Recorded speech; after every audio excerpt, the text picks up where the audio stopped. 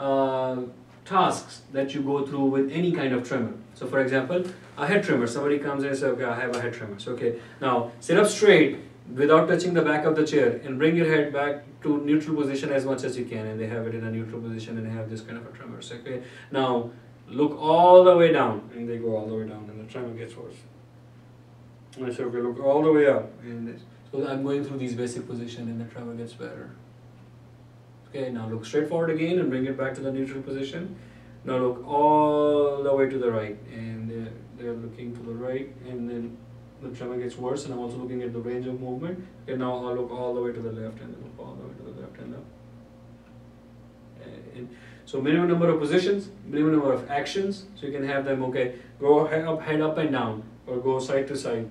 Uh, you can have them do actions and then you can have them do tasks. Okay, so okay, when do you notice the tremor the most? You say, I notice the tremor the most when I look at the clock which is behind me on the wall. So okay, look back at the wall and then try to look back at the wall and then start having the tremor with the head and you're having them the task to do. Similarly, you can have the same uh, components or elements in a limb, lower limb examination of the tremor, basic positions, basic postures, basic actions, some tasks to do. Similarly,